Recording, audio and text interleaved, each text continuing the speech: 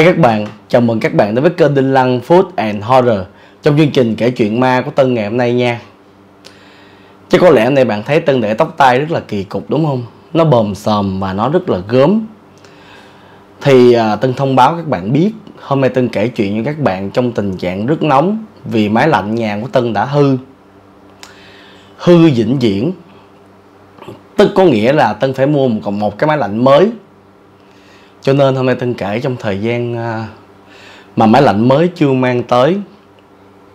Phải đến chiều nay à, 6 giờ thì máy lạnh mới mang tới. Mà nếu như vậy thì để mà cho không khí nó mát mẻ rồi kể chuyện các bạn nghe thì trễ hết. Tất cả những chờ đợi của các bạn à, 5 giờ chiều thì sẽ không được nghe câu chuyện à, tâm linh tân kể. Cho nên là tân quyết định kể trong thời tiết rất là nóng và Tân để ánh sáng thường ngoài cửa sổ để cho bớt ánh sáng đèn. Thì à, có chút xíu sơ suất gì về hình ảnh hay là trong quá trình kể Tân có đuối quá. Thì các bạn bỏ qua cho Tân. Tại đây xuất phát từ tấm lòng của Tân kể cho các bạn thôi. Câu chuyện hôm nay là một câu chuyện liên quan đến chung cư TK tiếp. Và câu chuyện này nó xảy ra khi mà cái chung cư này còn hưng thịnh. Tức có nghĩa là nó vẫn có buôn bán nhiều người tới đây để mà mua đồ. Thì à, những ai đã vào trong chung cư này rồi à, vô đây chơi hoặc là vô đây tham quan sau khi mà chung cư mở cửa thì các bạn biết từ sảnh lớn đi vô có rất nhiều tiệm nữ trang. À bán à, đồ phong thủy đá quý vàng bạc rất là nhiều. Các bạn có nhớ không? Rồi sau đó là mình mới đi lên cái thang máy lên trên là bán những cái dòng bạc à, giống như Hồng Kông và đi vô nữa là những cái kiosk bán quần áo và bên trong là cái chỗ chơi game chơi điện tử. Thì à, vào thời điểm này đó có một cái ông ông này là một trong những người rất là giàu có và ổng muốn đến cái chung cư này để tới một cái tiệm bán đồ phong thủy thôi một cái tiệm bán đá quý. Nhưng mà đá quý thực sự chứ không phải là đá tàu lao. Thì ổng mới mua à, một cái con à, ta gọi là con tỳ hưu thì ổng mới nói chuyện với cái người bán là cái cô này cũng là người bán hàng. Ổng mới nói rằng là bây giờ nhà ổng mới vừa xây thì ổng mới à, muốn mua à, một cái cặp tỳ hưu để mà để ngay ngoài sân thượng. Có nghĩa là sân thượng ổng á ý ổng dùng cái từ đó nghĩa là tân hiểu. À, như vậy nè cái phòng ngủ ổng có cái ban công. Ổng muốn để hai con tỳ hưu ở hai cái góc ban công mà ông dùng từ là sân thượng. Đó nhiều khi người ta không hiểu ta nghĩ là một cái sân thượng một cái nơi để mà trồng cây rồi để cái bàn trà không phải. Là cái phòng ngủ của ông bự là phòng ngủ có cái ban công. Thiết kế theo kiểu người xưa đó có ban công rồi xong rồi muốn để hai cái con tỳ hưu bự ở trên đó. Thì à, cái cô mà cổ bán đá phong thủy đó thì cổ mới nói rằng là à, muốn mua tỳ hưu thì có rất là nhiều thậm chí mua sư tử đá hay là mua con kỳ lân mua rồng gì có hết. Nhưng mà cái đá của nó chỉ là đá tốt thôi đá đẹp thôi. Chứ nó không được gọi là đá quý. Đá quý là phải có tuổi. Đá quý là phải có chứng nhận. Đá quý là phải có tên. Đó, là phải có giá trị. Chứ không thể nào mà đá quý là bạn đi mua một cái đá bình thường. Thì đa số đồ phong thủy bây giờ các bạn thấy đa số là đá bình thường còn những cái người mà người ta chơi đá, người ta sưu tầm đá thì là có ngọc mã não nè, san hô đỏ nè, rồi có cẩm thạch nè, đó. Rồi còn nhiều thứ khác nữa, người ta gọi là đá quý. Nhưng mà cái giá trị nó rất là mắc, chứ không có giống như những cái đồ phong thủy bạn có thể mua với cái giá một, hai triệu một cái tượng, hay là với cái giá là khoảng à, ba trăm rưỡi hay là bốn trăm rưỡi một cái dòng, không có. Đồ quý rất là mắc, một hộp của nó thôi là mấy triệu rồi chứ đừng có nói là một cái dòng mà 18 hộp á là còn bao nhiêu tiền bạn nhân lên bạn sẽ biết. Nó không hề rẻ. Thì sau khi cái ông à, nhà giàu này ông nghe đó thì ông mới nói rằng là vậy bây giờ cô có thể tư vấn cho tôi được không? Tại vì tôi rất thích đồ đá quý. Tôi không thích vàng bằng đá nha. Tôi rất là thích đá và có nhiều người giống như vậy rất là thích đá quý. À, nhưng mà cái đá đó làm sao để có được một cái tượng một cái con thú gì đó mà nó có tâm linh? À, để mà ổng đem về ổng để không nhất thiết phải để ngoài cái ban công hay là sân thượng mà như ổng nói. À, có thể để ở ngay cái bàn làm việc để mà ổng giúp cho ổng cái sự hưng thịnh trong làm ăn ngày càng phát triển hơn. Thì cũng mới nói nếu như vậy thì anh nên mua một cái con à, được gọi là mộc kỳ lân. Kỳ lân là một trong những cái con thú mà thuộc dạng có tính linh mà rất là nổi tiếng ở trong văn hóa của Trung Quốc và người Việt mình cũng biết thì anh mua nó đi tại vì bây giờ em có một cái con kỳ lân. Nó nó nó làm làm bằng đá cẩm thạch. À, mà là cẩm thạch của Đài Loan. Nó rất là quý. À, nó không có lớn nó chỉ nhỏ thôi nhưng mà nó cũng vừa đủ có sự oai vệ. À, cái người chế tác ra là từ một cái miếng ngọc cẩm thạch rất là đẹp. Mà chế tác là một nghệ nhân người Đài Loan. Thì chính vì vậy mà ông nhìn cái con đó ông khoái quá. Ông nói cái con này mà để trên cái bàn làm việc trong phòng của ổng á thì rất là oai vệ và mỗi khi có tiệc tùng mang mang xuống ông khoe bạn bè thì à, sau đó là ông mua. Và cái giá trị đó thời điểm đó cái giá trị là 200 triệu. Nó có chứng nhận giấy tờ đàng hoàng về giá trị ngọc ở đâu đó nặng trọng lượng bao nhiêu người nào chế tác là có hết. Để sau này không có gì cần kiện cáo là nó làm liền mà nó là ngọc. Đó nó chỉ có hai màu thôi. Đó là màu trong của ngọc và màu xanh đó, của cẩm thạch nhưng mà nó cũng trong nên là nó gần thành ngọc rồi. Thì những ai mà hiểu về đá là sẽ hiểu. Còn những ai chưa hiểu về đá đó thì một ngày nào đó tân sẽ giải thích cho các bạn hiểu về đá nó như thế nào. Thì à, khi ông này ông mua xong cái bữa hôm đó ông mua đó thì là ông mới hỏi cổ là có người nào giúp ông khai quan điểm nhãn hay không. Thì đây là một cái câu hỏi mà rất nhiều người đi mua đồ phong thủy đặc biệt là đi mua à, tỳ hưu rồi à, đi mua các cái con mà có tính linh về nhà thờ là hỏi có ai khai quan điểm nhãn hay không. Thì cái cô này cũng mới nói rằng là là tại vì á, muốn khai quan điểm nhãn thì một là anh phải có người thầy của anh giúp cho anh thỉnh cái con linh thú đó vào trong cái tượng này. Tượng này là một cái tượng tốt nó là tượng ngọc cẩm thạch. Thì anh có thể thỉnh được một con linh thú tốt vào trong này nhưng mà anh phải có một người thầy cao tay để giúp anh làm điều đó thì mới hưng thịnh. Còn nếu người thầy đó không cao tay thì anh đừng có thỉnh, thà anh để nó trên giá trị vật chất. Còn một khi đã thỉnh là có giá trị về tinh thần và bổ sung cho vật chất, thì anh phải tìm một người thầy đúng nghĩa. Thì ông này mới hỏi rằng là tôi không có quen với thầy nên tôi muốn nhờ cô có quen với ai thì cô giúp giùm. Thì cô mới nói là là tôi biết, nhưng mà tôi phải à, hỏi ý người thầy đó và nếu như mà người đó đồng ý thì cũng phải mất một tuần lễ mới thỉnh được vào trong cái con linh thú. À, một con linh thú vào trong cái miếng ngọc cái cái cái ngọc hình con à, kỳ lân này. Thì ông không đồng ý. Tại vì ông bỏ số tiền lớn ra mà ông không được lấy liền mà ông phải đợi một tuần lễ. Thì thực sự ra trong lòng ông này ông sợ một điều mà tôi nghĩ các bạn cũng biết đó là ông sợ bị tráo đổi cái con kỳ lân đó cái con mọc kỳ lân đó là ông sợ bị tráo đổi. Người ta sẽ đem một cái con bằng cẩm thạch khác để mà tráo đổi với con này. Sau một tuần lễ người ta chế tác con khác thì ổng sẽ không biết. Ổng sẽ bị lừa. Cho nên là ổng không chấp nhận. Ông ổng mới nói với cô này rằng là cái gì đâu mà một tuần lễ giữ gì em? Trời ơi anh mua đồ anh biết khai quan điểm nhãn á, ở nhà đi ra chùa làm á, có một tiếng đồng hồ à.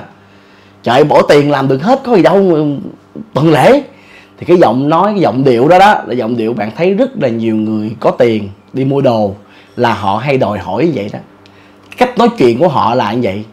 Mặc dù họ không có biết gì về cái ngành nghề hay là cái cách thỉnh linh thú họ không có biết, nhưng mà họ muốn cái đồng tiền của họ chi phối cái việc buôn bán đó, nó phải lẹ và họ được ưu tiên cái gì cũng phải lẹ cho họ. Nhưng mà họ không có hiểu thỉnh linh thú là thỉnh như thế nào và thỉnh cái gì vào trong đó thì họ không biết. Cho nên là họ mới bị gặp nhiều cái tai họa khi mà mua những bức tượng về, dù rất là mắc tiền, dù là đồ thiệt, nhưng mà thỉnh sai.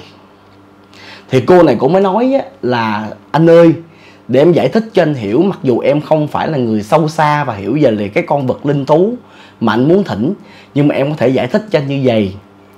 Linh thú là một con vật có tính linh nó phải hiểu và nó phải muốn về với chủ thì nó mới về với anh. Anh phải đưa ngày sinh năm sinh tháng sinh tuổi tác của anh. Đó, để mà nó cảm thấy vận mạng của nó với anh có hợp với nhau hay không nó mới vào trong đó chứ không có thể nào mà cưỡng cầu mà có linh thú được. Cái người thầy nào mà đi thỉnh linh thú người đó cũng phải đi hỏi. Tại vì người thầy đó không có cao đạo bằng cái con linh thú đó đâu nhiều người cứ nghĩ rằng linh thú nó giống như là một cái con vật mà cái người thầy chỉ cần hết vào trong tượng là đi vô trong tượng. Ngươi phải phù hộ nha, là ngươi phù hộ, không phải. Linh thú nó chọn mình, chứ mình không phải là người chọn nó. Cái con nào nó cảm thấy nó hợp với cái tuổi tác năm sinh vận mạng của mình, thì nó tự động nó vào cái nơi ở mà mình cho nó. Đó là viên đá đó, là viên ngọc đó chứ không phải tự nhiên mà bạn muốn là bạn được. Nó không phải chọn giống như là chọn cải hay là chọn đồ chơi. À, tôi muốn cái con rồng này tôi muốn cái con à, ngựa đó tôi muốn cái con kia con kia không có được. Mà nó phải là người chọn bạn. Nó chọn bạn vì nó cảm thấy rằng cái vận mạng của bạn nó có thể nắm được. Nó có thể khiến bạn từ người xấu thành người tốt. Nó có thể khiến bạn từ cái vận không may thành vận may thì đó là những gì mà cái cô đó có giải thích cho cái ông này. Nhưng ông này tuyệt đối không chịu. Ông nói đừng có mê tín quá em. Mua là mua để vì cái giá trị về vật chất thôi. Còn khai quan điểm giảng là một cái tục lệ mà ai cũng làm thì anh cũng làm. Chứ anh không muốn để mà một tuần lễ rồi thỉnh con này con kia. Thì bạn biết không? Cái câu nói của cái ông đó vừa đúng cũng vừa sai. Tục lệ. Tục lệ nếu không có đúng tục lệ nó nếu không có, thì người ta làm để làm cái gì? Người ta khai quan điểm nhãn làm cái gì? Nếu vậy thì ai cũng đây ra mua một viên đá quý, làm thành một cái con tượng nào nó đẹp, đem về nhà để. Chứ mắc chứng gì tự nhiên đi khai quan là chỉ tốn thời gian vậy?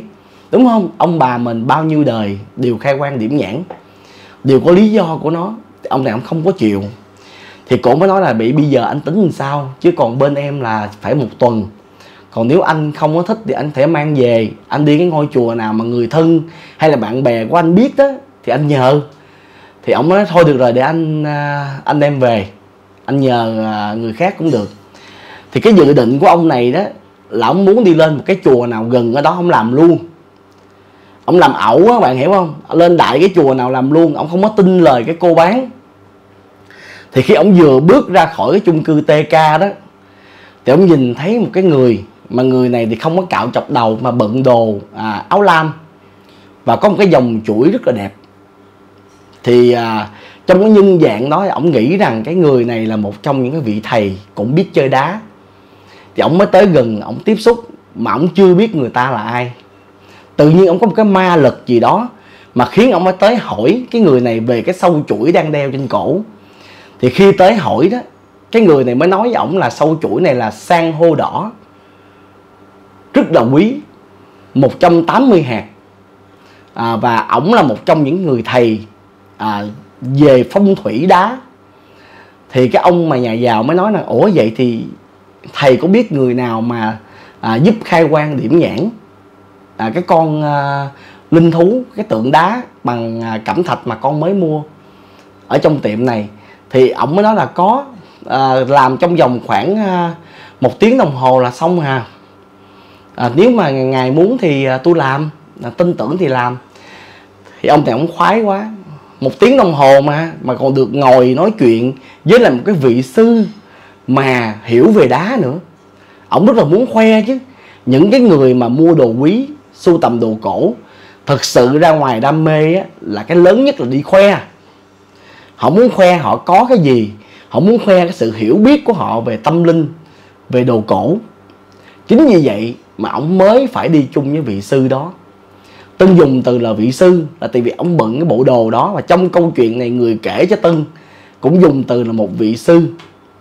Đó thì à, lúc này mới hỏi ông mới hỏi ra ông ông nhà già mới hỏi vị sư này là bây giờ mình đi về chùa nào thì con chở thầy đi.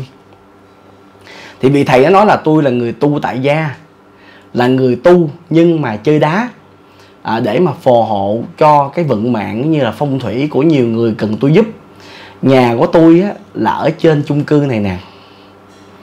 Thì nghe đến đây là cái ông đại gia này cũng khoái lắm bạn. Thứ nhất là một người có cá tính nhìn quá chất chơi đá quá dữ mà nhà trên chung cư đâu có rẻ. Mà ổng rất là muốn lên coi thử nhà ra sao. Có nghĩa là cái ông nhà giàu này đó ổng là một người đúng nghĩa là chỉ biết có vật chất thôi. Ổng không bao giờ biết về tinh thần. Có nghĩa là ổng muốn được đi lên đó để coi bất động sản nó trở như thế nào, để mà có cái mà ra nói chuyện với người ta. Tại vì ngày xưa đó, nếu nhà bạn không phải ở trên đó thì bạn đừng có mơ lên trên đó. Bảo vệ không cho bạn lên. Tại đó là chung cư cao cấp của người ta mà. Bạn chỉ phải đi vòng vòng dưới mon những nơi cho phép. Còn bạn lên khu vực dân cư riêng là bạn phải có thẻ là người nhà ở đó có nhà ở trong đó. Thì cái vị sư này mới dẫn ổng đi lên nhà. Thì nhà số mấy thì không ai biết. Nhưng mà đúng một tiếng đồng hồ, sau khi làm xong bức tượng đó, là ổng đi xuống và ổng lên xe, ổng chạy về nhà. Thì cái hình ảnh của ông đó rất là nổi tiếng trong ngày hôm đó. Tại rất nhiều người chứng kiến cái việc ổng mua một cái con hắc kỳ lân bằng đá cẩm thạch với giá trị rất là cao vào thời điểm đó nhiều người, người ta trầm trồ người ta tới người ta coi tại ngay chợ mà quầy bán mà.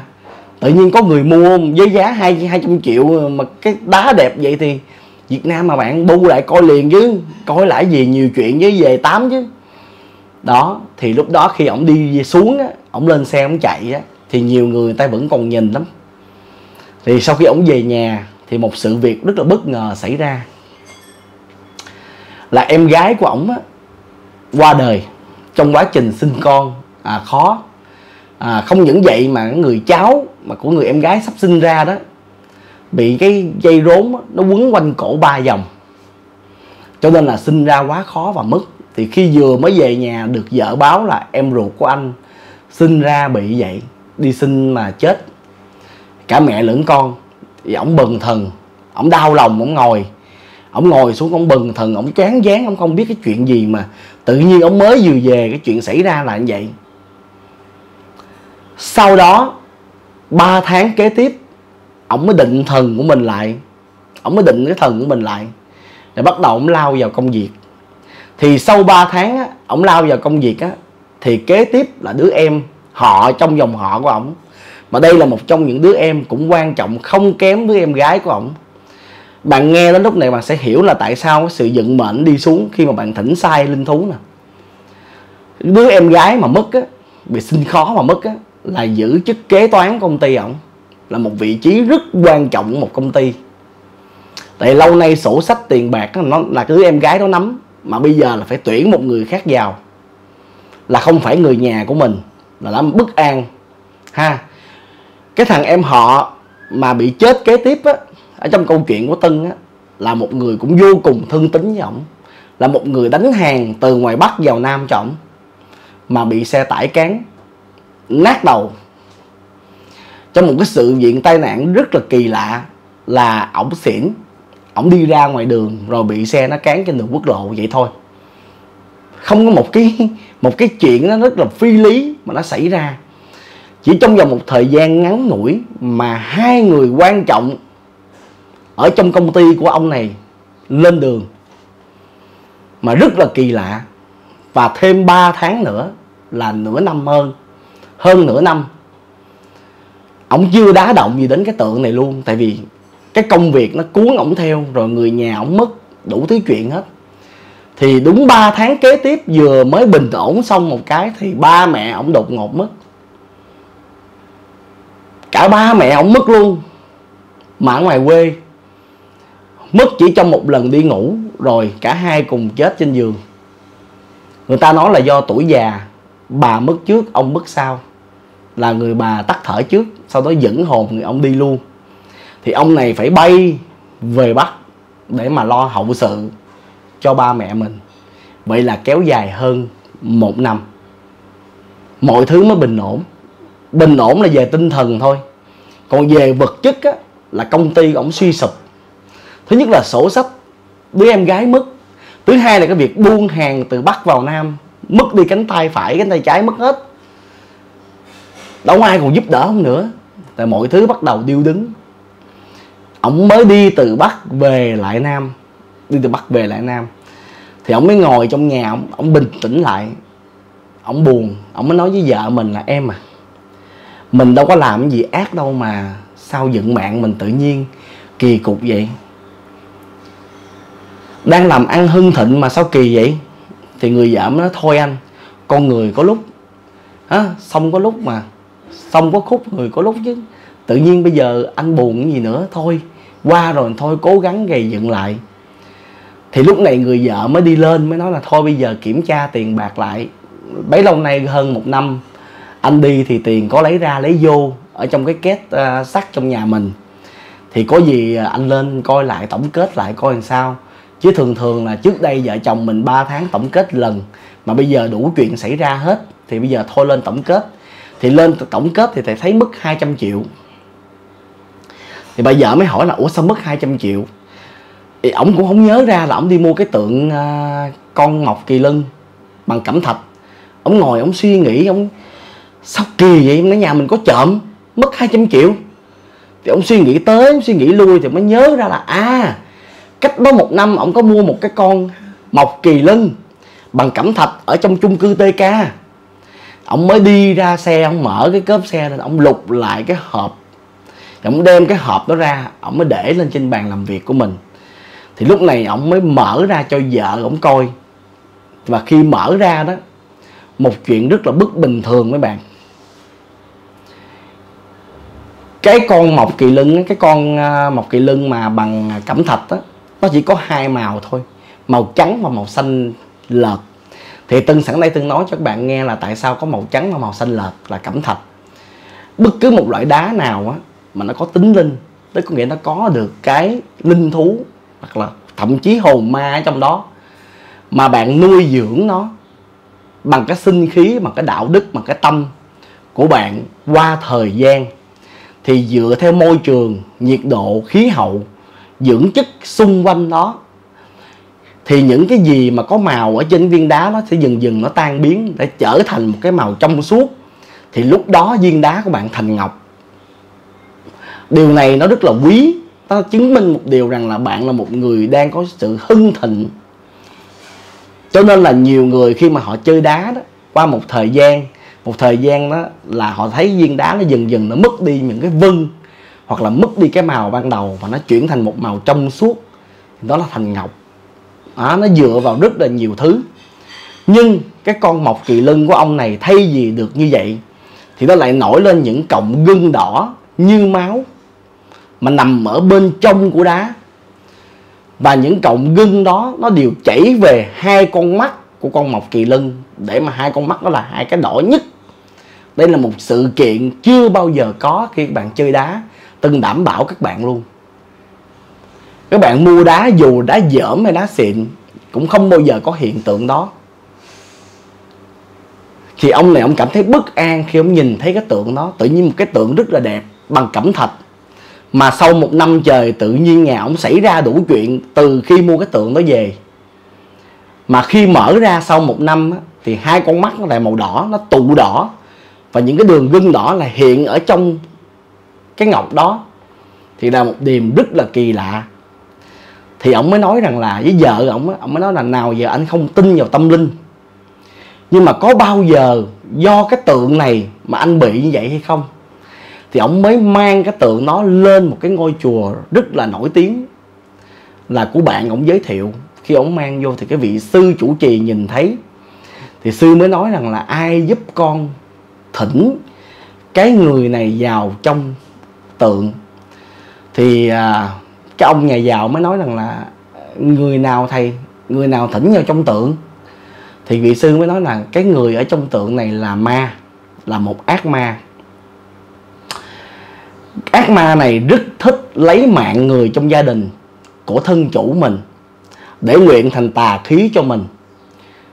Cho nên rằng là cái miếng cái cái cái là hình cái con cái miếng cái ngọc kỳ lân đó đó nó tụ đỏ là máu là máu của người thân con trong đó đó. Mà người thân của con mất bao nhiêu người rồi. Thì ông này ông táo quả hết hồn. Tại vì ông đâu có nói với sư chủ trì là người nhà ông mất đâu. Ông chỉ nói rằng là tại ông mới hỏi là tại sao cái tượng mọc kỳ lưng của ông lại bị như vậy là chuyện gì. Ông đâu có nói là người nhà ông mất đâu. Mà sư chủ trì lại biết, mà hỏi ông là người nhà con mất bao nhiêu người rồi.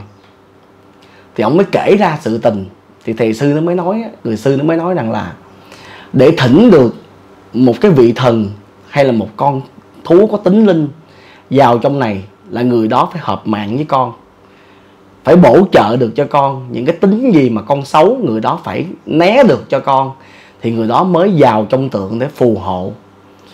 Chỉ có ma đạo, chỉ có ác ma hoặc là ma thú thì nó mới chấp nhận, nó nhảy liền vô trong tượng để mà nó thực hiện những cái gì nó muốn và có con ma này là cái con ma chuyên lấy mạng người thân trong gia đình của gia chủ để mà luyện âm khí cho mình. Sư nói nếu như con không mang cái tượng này lên kịp lúc, thì người trong nhà của con kế tiếp mất là vợ con. Người thân của con vòng vòng là mất rồi đó. Bây giờ kế tiếp là vợ con con. May mắn sao là con mở lại ra mà con đem lên đây là phúc đức gia đình của con là thầy nghĩ là những người đã mất á, phù hộ cho con con mới mang lên đây. Thì cái vị sư đó mới nói rằng bây giờ con có tiếc tiền không? Thầy sư hỏi luôn mà con có tiếc tiền không? Con có tiếc cái vật chất không? Hay là con muốn đổi lấy sự bình an và tinh thần? Thì ông này ông nói bây giờ con không có tiếc tiền nữa. Tại con mất quá nhiều rồi. Nội cái tiền mà mất ờ, hai người em mất cha mẹ tiền bay ra bay vô tiền lỗ lã công ty một năm nay nó còn hơn cả cái tiền mua tượng nữa. Cho nên là giờ có mất thêm nữa con cũng không sợ. Thì sư mới nói là vậy thì tư sư sẽ làm thần chú rồi sư đập đập tượng. Thì cái ông ông mà nhà giàu á, ông mới nói rằng là cái này là ngọc, đập không có bể đâu sư ơi. Nó quý lắm, đập không có bể. Sư nói là ngọc thì nó sẽ không bể, nhưng nếu là ma đạo thì nó sẽ phải tan trước mặt đức phật thì sau khi sư làm xong hết á là sư thả nó xuống. Không có cần đập gì nó cầm thả thôi là nó nát bấy hết luôn. Nó tan ra hết. Mà một điều kinh khủng mà chính cái ông nhà giàu này ông ông nhìn thấy được là ông lấy tay ông á ông quẹt lên những cái đường máu á, ở trong cái, cái tượng nó ra đó. Nó có mùi tanh các bạn. Mùi tanh của máu. Những cái đường chỉ đỏ và cái con mắt đỏ đó là đường mùi tanh của máu làm sao mà máu có thể vào trong một viên ngọc được? Không bao giờ có. Đây là một cái chuyện tâm linh có thật mà tân biết tân kể các bạn nghe. Thì tại sao tân biết câu chuyện này? Tại vì tân cũng đã từng chơi đá và tân cũng đã gặp rất là nhiều người à, chơi đá và tân gặp những vị thầy kể câu chuyện này lại cho tân để tân biết mà tân thỉnh đúng. Linh thú không phải là một cái con vật mà để các bạn có thể thỉnh theo cái kiểu thích thì thỉnh mà không thích thì thôi. Không có.